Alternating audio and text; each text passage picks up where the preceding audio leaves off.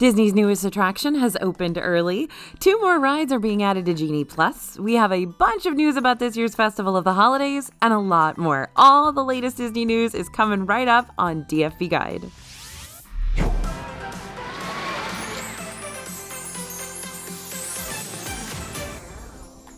Hey everybody, it's AJ for Disney Food Blog. Now, big things are happening in Disney World right now as the newest attraction has kind of opened. And even though it's the first weekend of October, it's time to start talking about the holidays. So, Journey of Water, inspired by Moana, is that new walk-through attraction that's scheduled to open at Epcot on October 16th. But Epcot surprised us this week by having a soft opening for this new attraction. So, Journey of Water, inspired by Moana, soft opened on Friday, October 6th, yesterday. According to Disney, the attraction will be open on select days and hours from the 6th through the 15th, and it'll officially open on the 16th. You can join the virtual queue on the My Disney Experience app starting at 9 a.m. until it reaches capacity or is no longer needed. The 2023 Epcot Festival of the Holidays returns from November 24th to December 30th. It's going to be filled with food and fun and all sorts of festive entertainment. Disney released a lot of info this week about this year's festival. First, the Candlelight Processional will bring new celebrity narrators to the event, including Brendan Fraser and Joey McIntyre. The Epcot Candlelight Processional, a longtime fan favorite experience, is the retelling of the Christmas story. It's also a standing tradition that celebrities help narrate this story, accompanied by a massive choir, a 50 piece orchestra, herald trumpets, and the voices of liberty. It wouldn't be a holiday celebration without the main man himself, though. Santa Claus, the jolly icon, will return to the Odyssey Pavilion from November 24th to December 24th. The World Showcase storytellers are also returning this year. We can expect to see the mischievous Barn Santa from Norway, a Chinese lion dancer for Lunar New Year, Père Noël from France, Hanukkah stories, and more. Living with the Land is getting that holiday glow up thanks to the overlay. Feast your eyes upon Christmas lights and other festive elements that are added to this Epcot icon every year. And catch Joyful, a celebration of the season in World Showcase Plaza. This uplifting gospel and R&B show celebrates Christmas and Kwanzaa, and we promise you'll want to dance For even more info about this year's festival, like every single booth that's been announced for Festival of the Holidays, that's right, we've got them all, head to our website at disneyfoodblog.com. And guess what, Disneyland fans? Two more rides are being added to Genie Plus for you in November.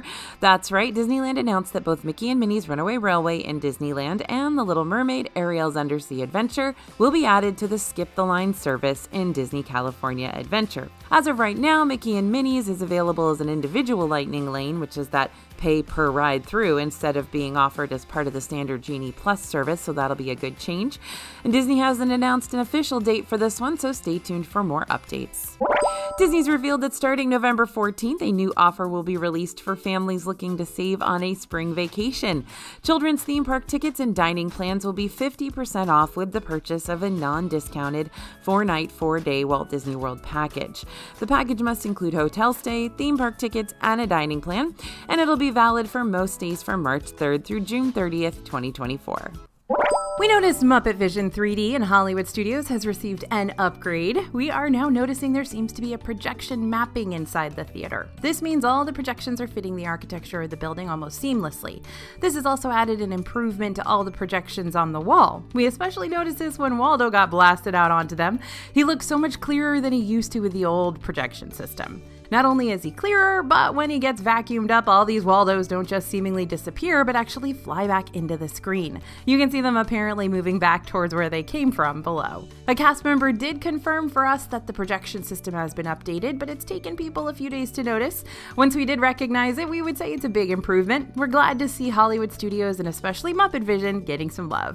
Cast members in the World Celebration neighborhood of Epcot are sporting new outfits in a few shops. The new costumes are gray with a geometric pattern on the left side that resembles Spaceship Earth, the iconic emblem of World Celebration. There are three color patterns that cast members can choose from green, purple, and blue. We spotted these new outfits in Creation Shop, Connections Cafe, Pin Traders, and a few other locations across that neighborhood.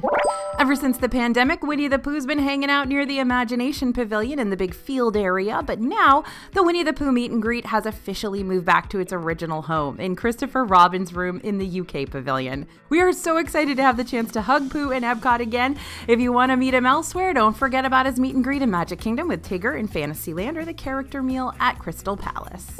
Something brand new has landed in Epcot, introducing the Perseverance Mars rover tracks. This installation is a collaboration between Walt Disney Imagineering and NASA and celebrates the Perseverance rover that is currently making its way around Mars. The new display details the mission on a plaque next to a recreation of rover tread marks. Disney shared that NASA's Jet Propulsion Laboratory provided images of the rover with a prototype wheel to help create the tread marks, which are identical to the ones on Mars.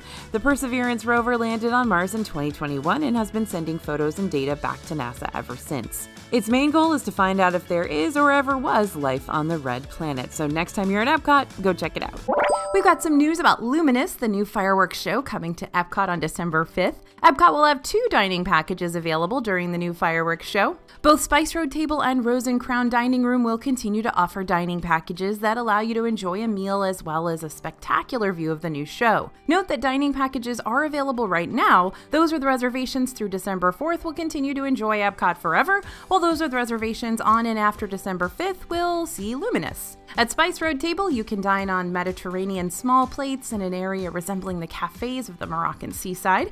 The dining package here includes a prix fixe menu consisting of your choice of two small plates, a shared tagine, a dessert platter, and unlimited beverages. Pricing at Spice Road Table will be $79 per adult plus tax and gratuity and $29 per child plus tax and gratuity. Over at Rose and Crown, you will be seated on the outside patio at Rose and Crown Dining Room, which offers a stunning view of World Showcase Lagoon and the fireworks shows, of course.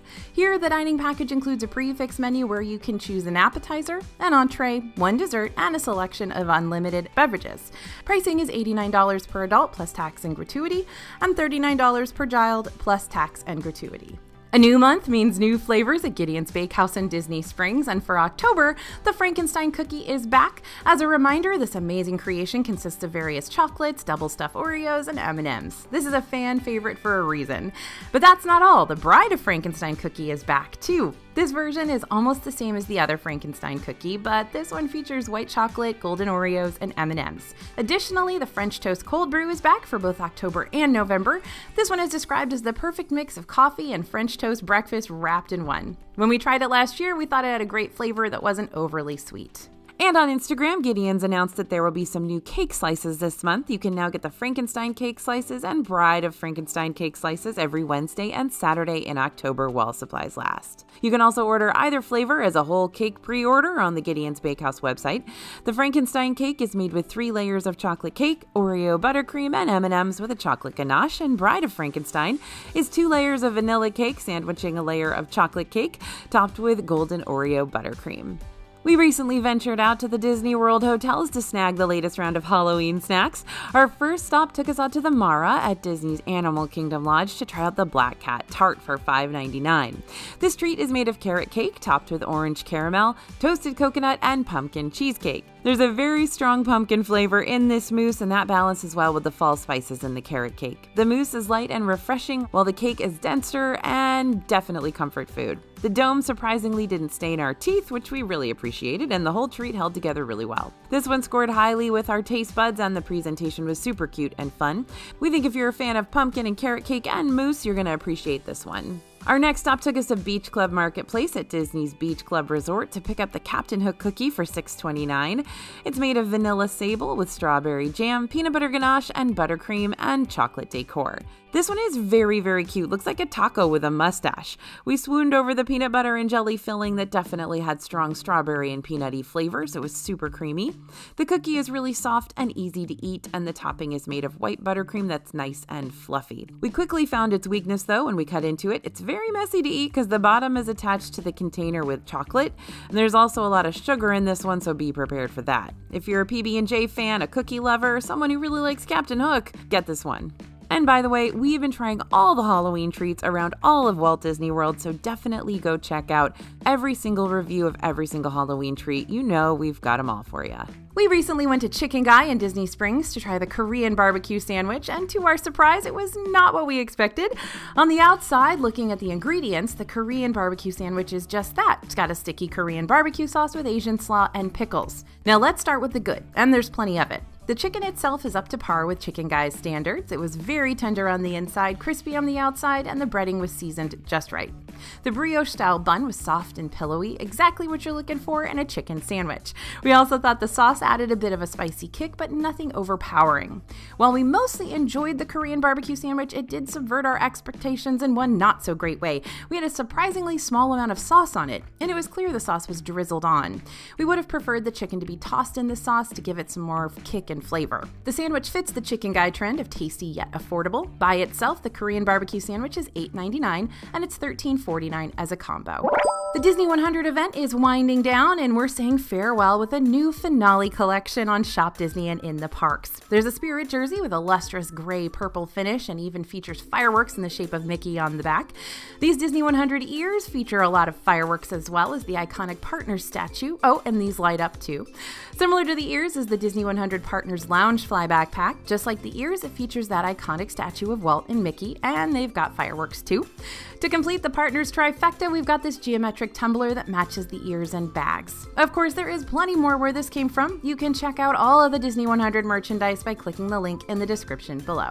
All right, everybody, that's the news for this week. Now, there's plenty more over on our website. And if you want all the latest news, all the latest info right in your inbox, be sure to join our newsletter. The link to subscribe is right down in the description and it's completely free, and that'll make sure you don't miss out on anything. And don't forget to follow us on social media at Disney Food Blog for even more fun Disney content. Thanks for listening, everyone, and thanks for watching. As always, this is AJ for Disney Food Blog, and we'll see you real soon.